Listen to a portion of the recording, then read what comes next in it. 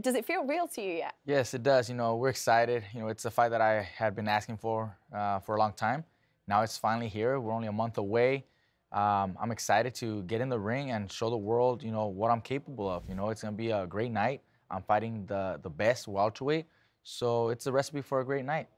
Really looking forward to seeing you and Errol Spence Jr. tomorrow at the at the press conference, Yes. which we're showing on Fox, by the way, tomorrow afternoon. It's going to be the first time that you've seen him in person for a while. What are you looking to see? Yeah, well, you know, we saw him, you know, for the first time a few months back, but that was a different setting.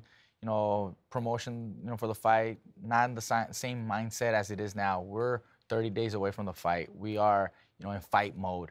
The, the setting is different. So I want to see what his body tells me, what his eyes tell me. I'm sure he's going to size me up just like I am, you know.